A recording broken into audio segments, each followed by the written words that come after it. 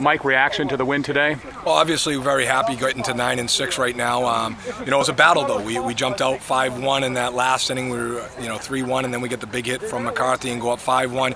You're feeling confident. You get the first out, you get the second out, and then you walk three guys. You know, and and they're a team that they're well coached, and you know they're going to take strikes to try to get base runners on. And sometimes you, you, you overthink it as a pitcher, and I think that's what happened to Karras. We had to bring in uh, McCarthy, our captain, done some nice jobs saving some games for us, coming in and closing out some games because he throws strikes, and you know most guys are going to make outs, and that's what he got there as a ground ball. So big one. Obviously, we can be a little critical of some mistakes we made, uh, but getting the victory is the most important thing right now. So being in nine and six, we're, we're happy with our position. How's it feel to be out playing ball in the warm weather finally? Um, gorgeous today. You know, you, you love that. It was cold early in the year, but being here on a nice day, uh, I don't think there's too many better parks that you can play at.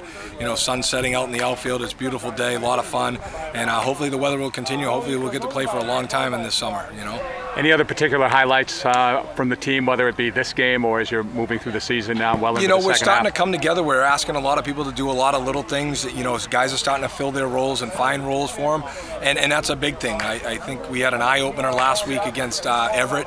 We got beat up a little bit. Guys thought we were going to just kind of walk in there, and they, they swung the bats, and guys weren't prepared. And now we've done a better job and got ourselves ready, and, and now we got to go in town again. You know, with the GBL guys coming in here, we got to go to Somerville, and guys are realizing the baseball is a very mental game, and you got to be prepared to play, you know, all seven innings and maybe more sometimes.